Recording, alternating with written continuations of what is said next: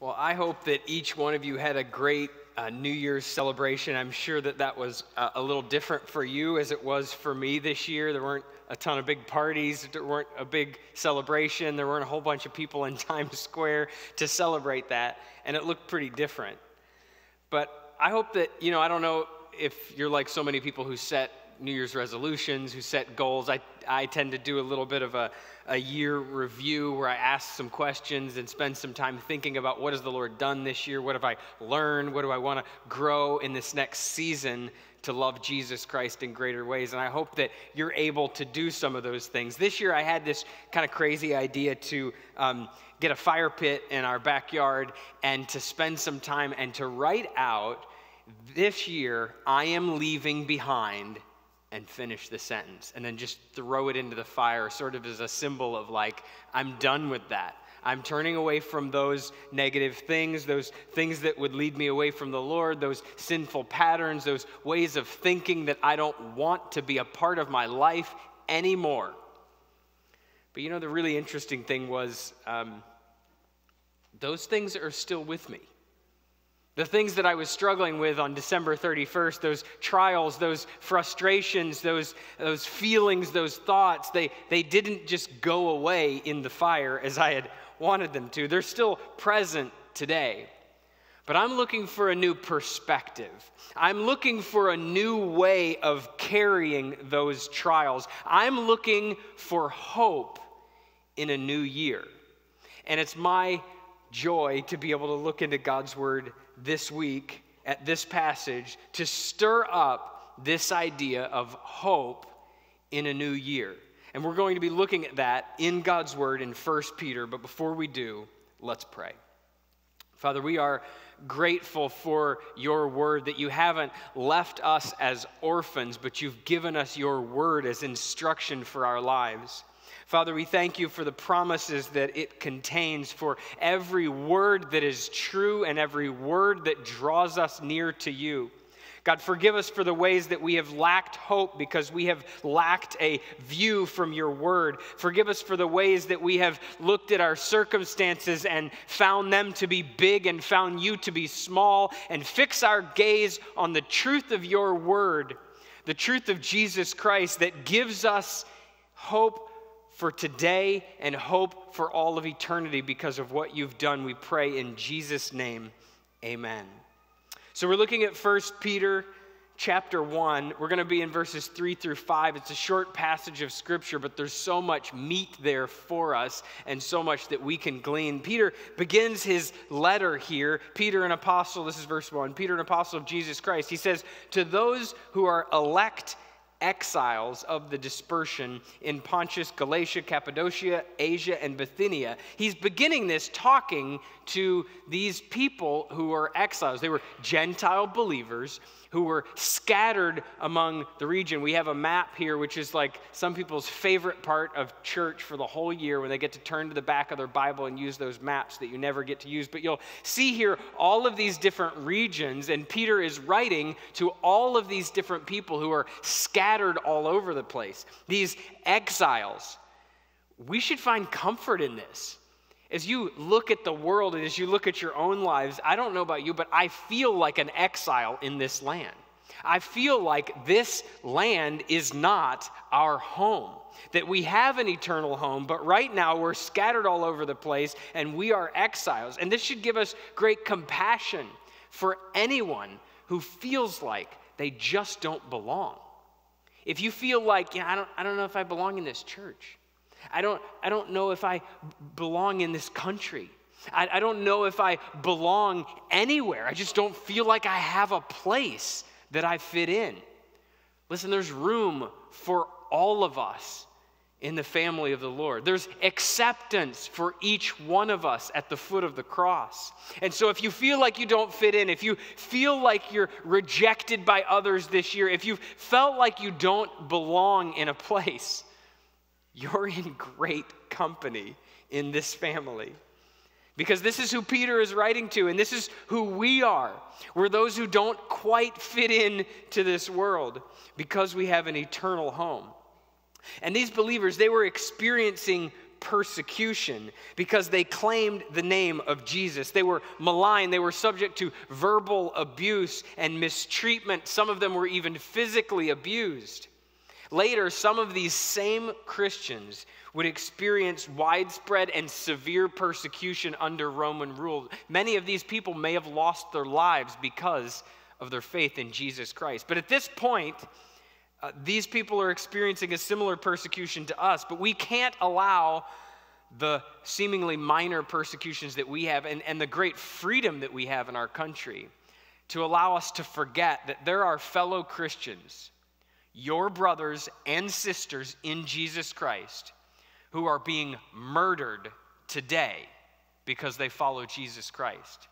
Christians in India and North Korea and Afghanistan and Libya and Somalia, and the list goes on and on of Christians right now who are experiencing severe persecution.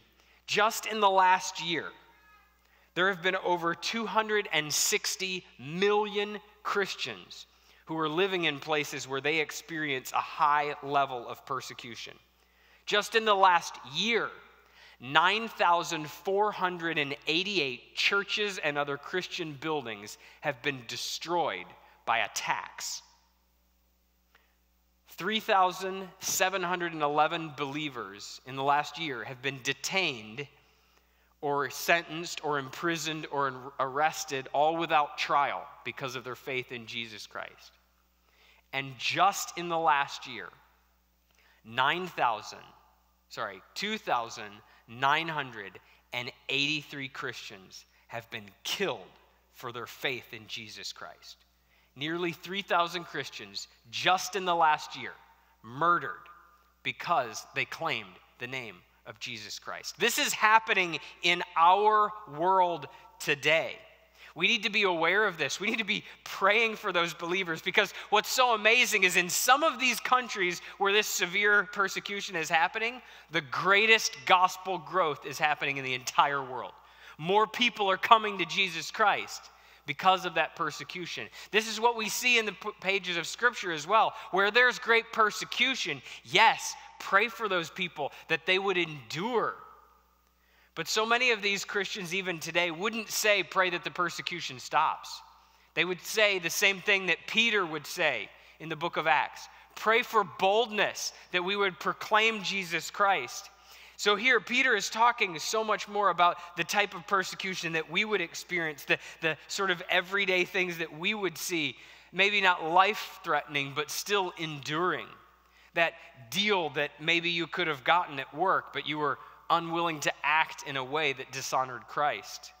Those friendships that you've lost because you claimed Jesus Christ, because you were no longer willing to do those things or to go to those places or to be with those people, because you have a Savior who calls you to something different. Those insults that you hear because you're a Christian, those things that we hear in the media and over social media because of the name that we would claim, that trial that you are going through that seems like it will never end. And if the truth were told, if you were to act in a way that was contrary to what God's word calls us to, that trial might be over like this. But we're enduring these things because of the name of Jesus Christ. And so, in the midst of the difficulties that they felt, and in the midst of the difficulties that we feel, Peter's message to us is a message of hope. 1 Peter 1 3 says, Blessed be the God and Father of our Lord Jesus Christ. According to his great mercy, he has caused us to be born again to a living hope through the resurrection of Jesus Christ from the dead, to an inheritance that is imperishable, undefiled, and unfading, kept in heaven for you, who are being who by God's power are being guarded through faith for a salvation ready to be revealed in the last time. Listen, no matter what 2021 holds, no matter what it has in store for me, I can have hope and I will bless the Lord because of it. We can have hope because of the means of our salvation. So bless the Lord. Notice he begins this passage by saying, Blessed be the God and Father of our Lord Jesus Christ. He's saying that, that God is worthy of our praise, He's worthy of our, our adoration, that God should be praised. He's saying we must praise the Lord, that it's a choice that each of us may, should make to choose to praise the Lord. This is such a helpful remedy for those of us whose hearts are weighed down by hardship. Whether you're walking through a trial right now or you will soon, whether you're walking through persecution right now or you will soon, the choice to praise the Lord in the midst of the most difficult times is what we're called to. And part of that is because you will believe the voices that you hear over time. You will believe the things that you hear over and over and over. If you hear or you say to yourself over and over and over, I'm worthless, I'm such a failure, why did I do that again? You will begin to believe those things. If you rehearse in your mind, I'm just, I'm so all the time. I can't believe it. I'm so you, you will begin to believe those things. If you are listening to people who are telling you that you should be ashamed of yourself for the way that you acted, that you should be shamed or guilty or all of those things, you will begin to believe those things. If you are listening to the words of those around you who would say, You're forgiven, you are loved by the Lord, all of that is in your past. You have been redeemed. And God loves you and has a plan for you and desires that you would grow to greater obedience. That is who you are in Jesus Christ. You will begin to believe that. So, who are you listening to? Are you listening to the voices in your head that would tell you things that are contrary to God's word? Are you listening to the people around you who don't know Jesus Christ and would lead you astray and lead you down a path that you know ends nowhere good? Are you listening to those things? Are you listening to your small group who would say, I know that you've had a tough year and I know that you're struggling with these things, but God is faithful. God is strong. Look at what God has done in the past and what He will do in the future. You will begin to believe those things. Who are you listening to? Are you listening to the voices of the enemy that would say, You're not worth a thing? I can't believe you did. Look at, look at you. Are you listening to the voice of the Lord who would say, You are redeemed, and you are chosen, you are elect, and you are loved?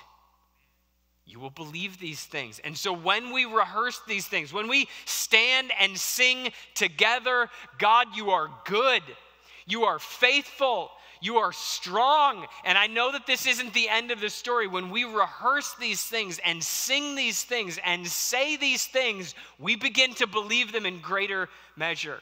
And that is one of the reasons that we praise the Lord. So listen to these words. Speak words of truth.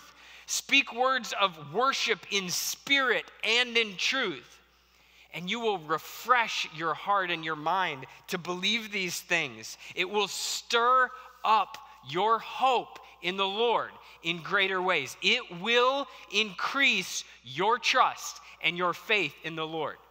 It's a choice that we make.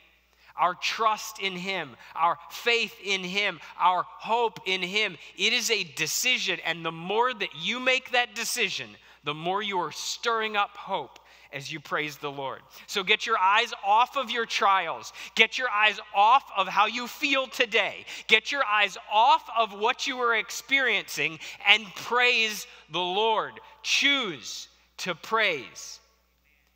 And we do this at all times, but maybe especially in times of trial, especially in times of persecution or times of doubt or pain or feelings of hopelessness or God, will this ever change? I choose to praise. We're called to respond by blessing God and by worshiping Him. This is the beginning of the Christian life. And it's the end of the Christian life. And it's where Peter begins today. We bless the Lord because of the hope that we have, because of the means of my salvation. The means of my salvation, of your salvation, is look at what it says in the text. According to his what? His great mercy, his abounding, loving kindness.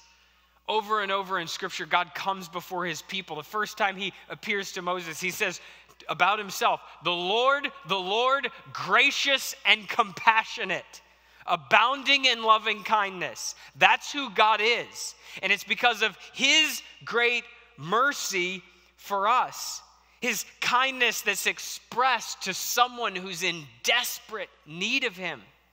As Peter speaks of God's mercy, he's saying God has compassion on you in your misery.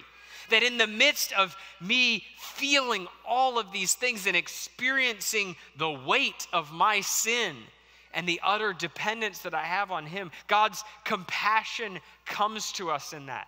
In the middle of my suffering, He reaches out. And notice it's according to His great mercy. It's not based on anything in and of ourselves. That all I have is my need for Him. And it says that we're born again, that we're brought into a new relationship. Paul oftentimes talks, when he talks about, you know, the old is gone, behold, the new is come, and that's absolutely true. That's what happens in salvation. But Peter's focus here is far more on this new relationship that begins because of the change that's happened in us in Jesus Christ. He, he gives us this picture, this born again. Think about a baby and its mother. Brand newborn baby right as that baby is born, a new relationship begins. That that bond between mother and child is brand new and is fresh. And there's nothing that that baby could have done to be born. Trust me, my wife had two children who didn't want to come out, and we had hoped that they would, but there was nothing we could do. We just, you have to wait. But when that baby is born, a brand new relationship is begun right then. And that's what he's saying that, that you didn't do anything to cause yourself to be born again. God did that, and as he did, a new relationship was been, has been born, and you have a place of belonging in the family of God because of this new birth that's happening. Think about these physical and these spiritual refugees of this time, reading this and hearing this. They've been born into a new family and now have a secure place of belonging. And that's what we have because of Jesus Christ. We have this new relationship because we've been born into this family. And we have this hope, this living hope It's contrasted with a, a dead hope that the world would have. Because everyone around us wants hope. Everyone around us has things that they place their hope in. Maybe it's a worldly thing, maybe it's a false religion, but our hope is living because our Savior is living. Buddha, dead. Krishna, dead. Joseph Smith, dead. Muhammad, dead. Jesus Christ is alive, and that's why our hope is alive.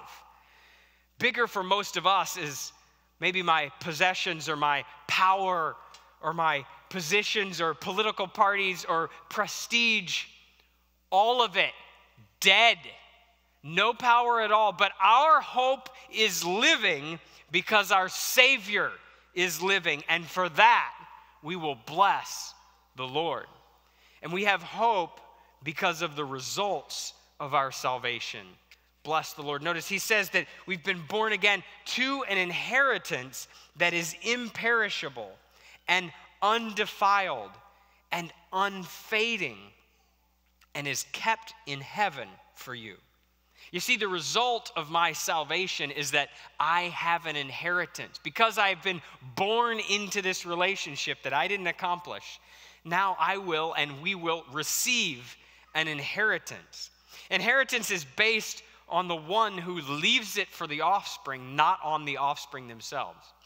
I was thinking a little bit about, you know, like famous heirs, and the person who kept coming to my mind was Paris Hilton. You know, like she did nothing to receive the inheritance. It was all done by her parents. But because of her relationship that she had with her parents, she received everything. And think about throughout the pages of Scripture what our Heavenly Father has created all things. Scripture says that He upholds the universe. Scripture says that He owns the cattle on a thousand hills. This all belongs to us because of the relationship we have due to this new birth, that we have all of it. And Peter is telling us about this inheritance that we'll receive. First, he says it's imperishable. He's saying that the substance of our inheritance never diminishes. Maybe for some of you, you've seen your uh, body kind of go downhill this year. I turned 40 during the stay at home order. That makes you feel real good about yourself. You know? So maybe you've had a difficult year with that and you've looked in the mirror and felt like, yep, not what it used to be.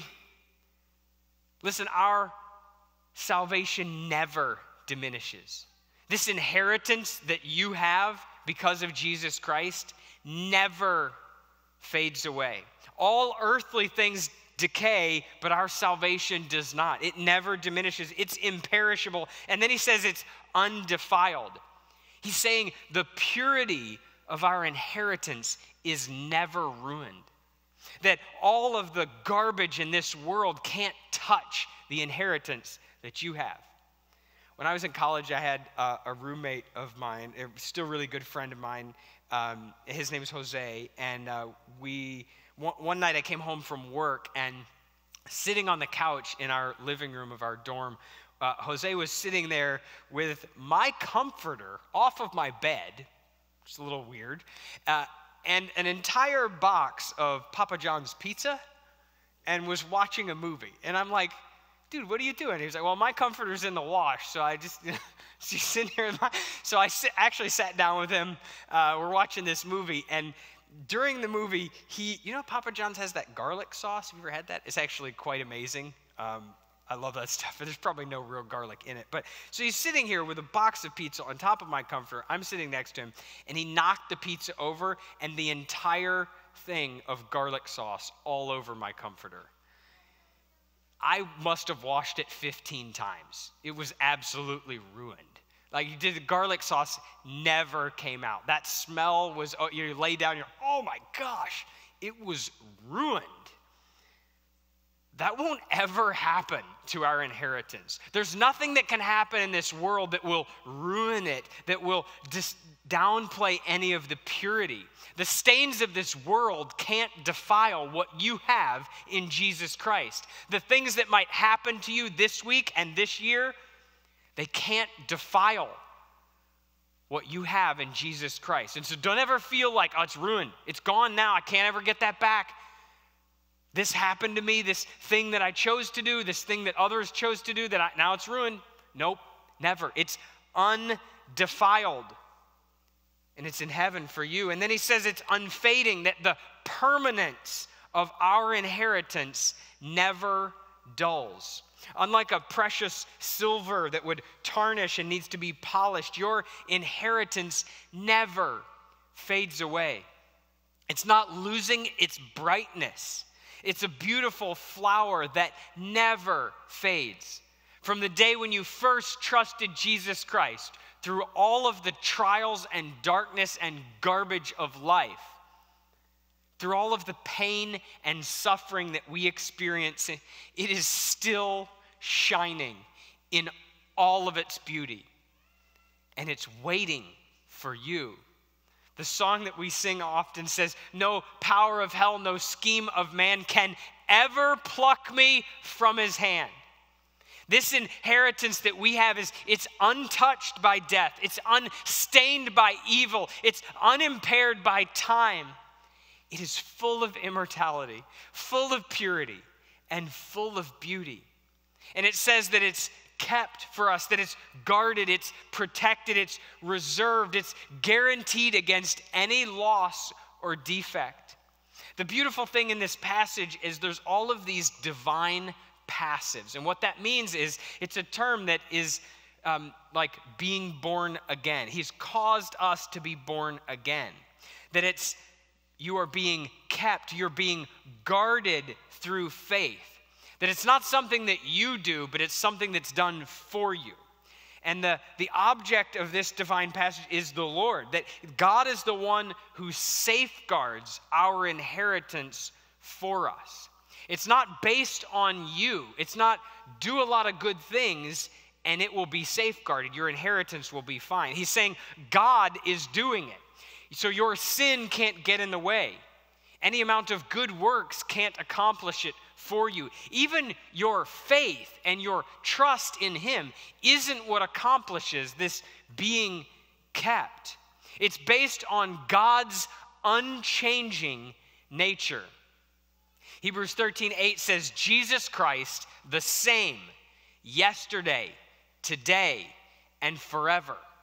That is our surety that is being kept. He is unchanging, and it's being kept for you. And notice it's beyond, it's being kept in heaven.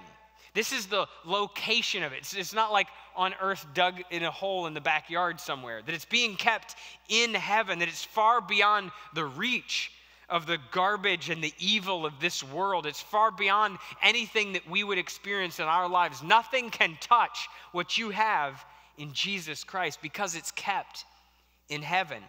And notice what he does here in this verse. He changes the pronouns because if you notice in verse 3, he says, He, God, has caused us to be born again. But then here in verse 4, he says, It's kept in heaven for you. Peter wants us to be sure that this is kept for you. As they're experiencing great trials and great hardship, Peter didn't want them to misunderstand the trials.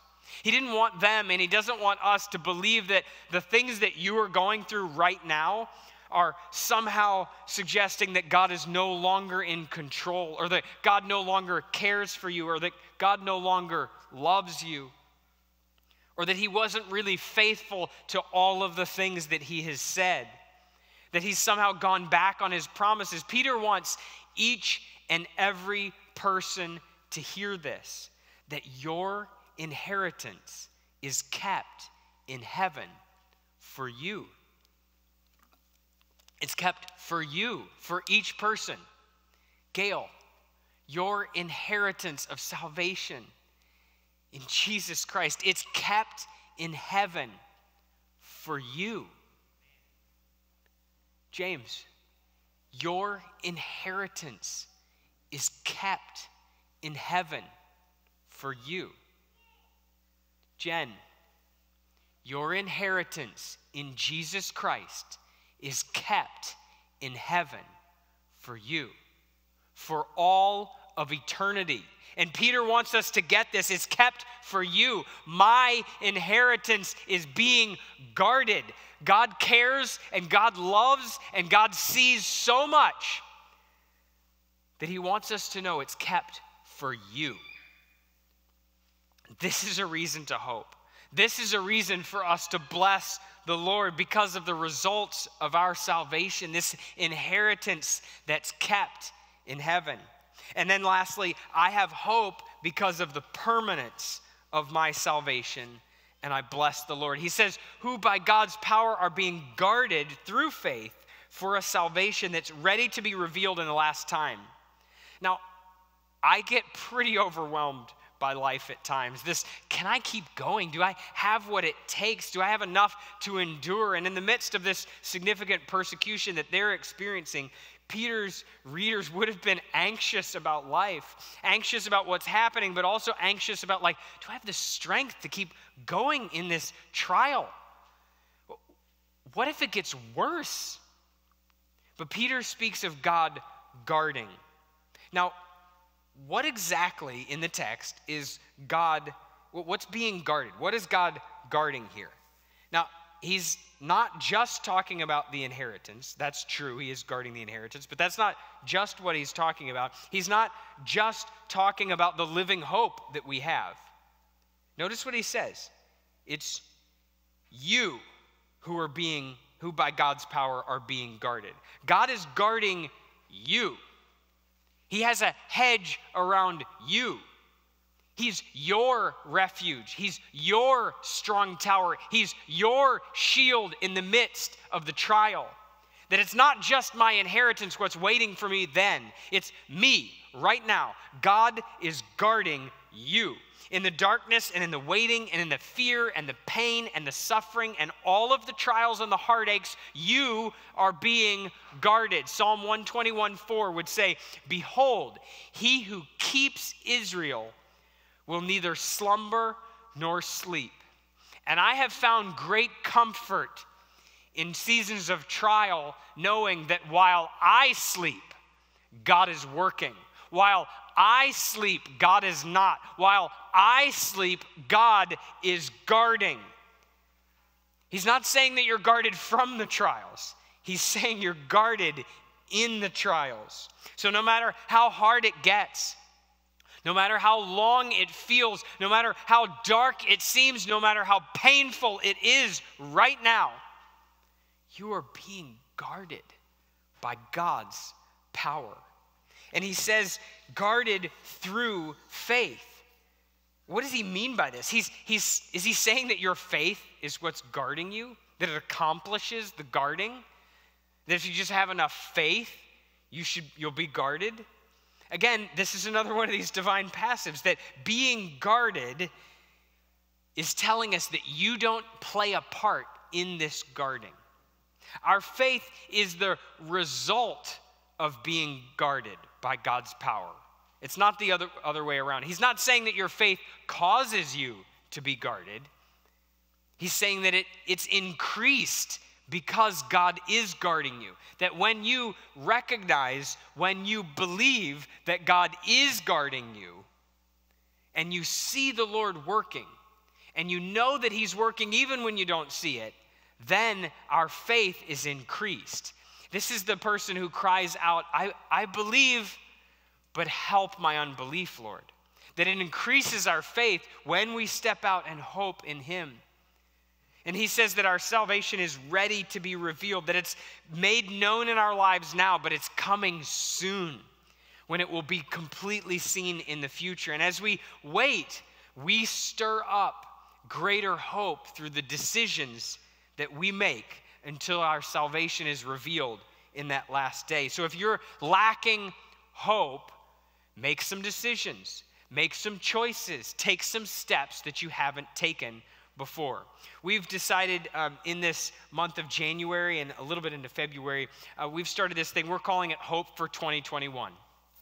And because of the interesting season, all of these um, classes and seminars and sessions and groups and things like that, uh, all of these are going to be online. Uh, we have a uh, slide that you'll see up up on the screen. And we've decided we want to do these for anyone at any of our campuses who want to be involved in these kind of things. Uh, you'll see Jesus, the Savior and source of hope. Uh, this will be on Wednesdays. This is for anyone who's looking for a clearer picture of who Jesus is and what he's done for us. Maybe if you're newer in your faith, this would be a great opportunity for you to jump in this group. There's hope in my struggle. If you're going through a specific trial or a personal failure or dealing with challenging emotions right now, this might be a great place for you. We're going to do something on hope for my marriage and hope for my family and hope for my finances. And then the last thing we're going to do, I think we're calling it a habit of hope. Uh, that's a Bible reading plan that we're putting together for the next 90 days that starts um, just starts in the next couple days. You can find all of the info. You'll see the, the website there. You can get signed up for all of this. Um, I'm, I haven't even told them yet. I don't know that any of them are here today. I think they're all online. But uh, my small group, we're going to go through the hope for our marriage. Um, we have a married couple small group, and we're going to be doing that together on Monday evenings. But these are ways that we can be together and take some steps this new year to see some movement in hope. It's a decision that we make to place our faith and our trust in Jesus Christ. And it stirs up hope. And Peter is telling us that this is ready to be revealed. It could happen at any time. And when I understand the permanence of my salvation, that I have it now fully, I am forgiven in Jesus Christ. If you've turned from your sins and trusted Jesus Christ by faith, you have it. and it will be revealed fully in the future. So, no matter what you're going through or what I'm going through, we know the end. I really wish that I could promise you it would be pain free between now and then, that it would be quick and that it would be easy. And, but quite the opposite. Jesus says that in this world you will have trouble. But I can promise you that He's faithful because He also said, Take heart, I have overcome the world. I can promise you that He's faithful. I can promise you that He is working in it. I can promise you that it is worth it. And I can promise you that in the view of eternity, everything that you are experiencing right now, everything that I am feeling right now, will be over like that. Maybe you feel like you don't have the hope right now, that your things are dark or confusing, that I'm unsure about the future. I don't know what's going to happen in 2021. Choose to hope.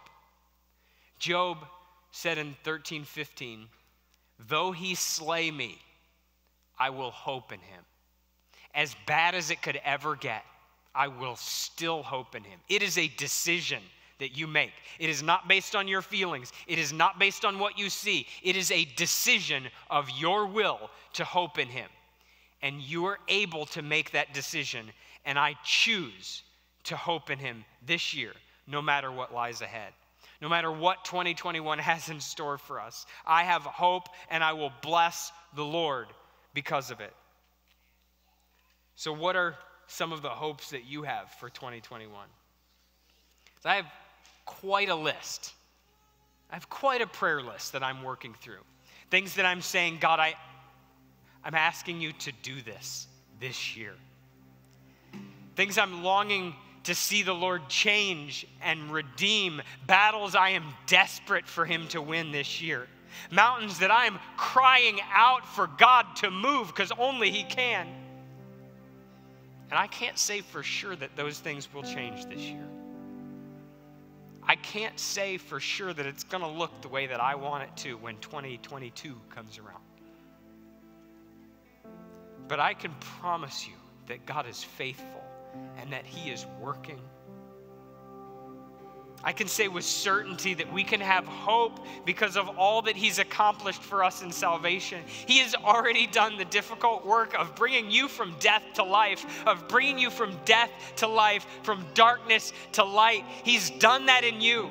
He's brought you from the grips of hell and set you free for Jesus Christ. He's secured your inheritance and it is waiting for you and it is unchanging because He is unchanging. And if He's done that, then He can take the trials in your life and He can take the hurt and the pain in my life and He can redeem it and He can work it and He can bless us through all of it as we seek to bless Him with our lives. Whatever I am waiting for and hoping for and hanging on, He can do it. So choose to hope. So choose to praise in the midst of all of that. I'm trading my fear for praise. I'm trading my anxiety for adoration. I'm trading my worry for worship, and I will praise Him through it all. So, church family, let's stand. Let's worship Him through the hardest seasons. Let's worship Him in spirit and in truth because He is faithful and good. Let's worship Him together.